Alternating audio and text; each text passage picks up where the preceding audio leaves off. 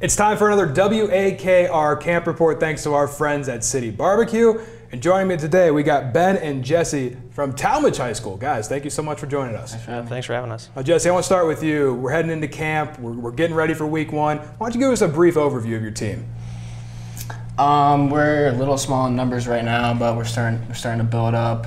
Um, but we got a lot of guys that are hungry, and we got a brand new lifting coach who's really good. Graduated from Tallmadge. It's a lot of a lot of energy, good stuff. Now, Ben, I want to take it back to last year. You know, you end your season. You got all this time now. You're to this point today, getting ready for camp. What are some of the things that you've done to work on your game, and some of the things your team have done to improve themselves? You know, um, the team they've been lifting since December, but I wrestle, so that that's really helped me a lot. But the team they've been lifting every day since December, like I said. So they've they've been working hard, and it's all time to pay off the season. So yep. Now, Jesse, you're a running back and a linebacker. Ben, big man, offensive line. I'm a little biased. That's what I play. uh, Jesse, let's start with you. What, what's the toughest part of the positions that you play?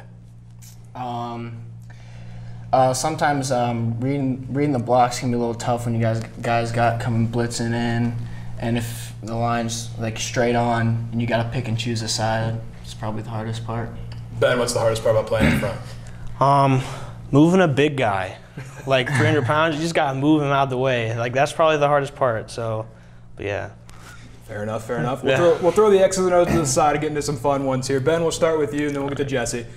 Getting ready for week one, getting pumped up. You got your headphones on in the locker room. What music are we listening to?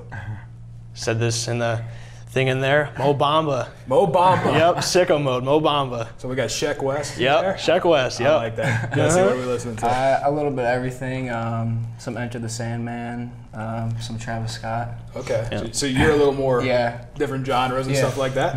Perfect. Got to get pumped up. Got to get ready to go. Now I'm gonna throw both of you two into a video game. You guys play Madden? Yeah. All right. So you're on Madden. Jesse, we'll start with you. What's your highest attribute if I put you in the video game? Uh, toughness. Toughness. Why? Um, I'm a wrestler too, and it's just the way I was raised. I'm tough, you know. Okay. Ben.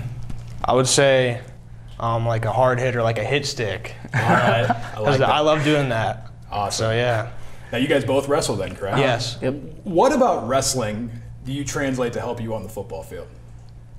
Just everything. Like wrestling's taught me a lot of things, and one of them is discipline. And I wrestling, you got to be disciplined with your weight and your everything that you that you do because like you you just gotta you gotta learn it. So, you know, yeah, that's basically it.